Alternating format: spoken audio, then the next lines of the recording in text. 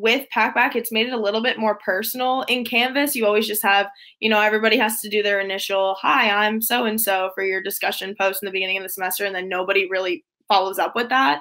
But here, it's like, yeah, we're all classmates. We didn't necessarily introduce ourselves, but we're just curious about these topics. So I like that we just dive right into it and kind of ask these questions and have the opportunity to talk about these topics. So I think you definitely get to know your classmates more than you would in person because some people might be shy about answering these questions. I personally am a loud, um, extroverted person, but some people might not be that way. So I think it's a great platform for them to really share how they're feeling.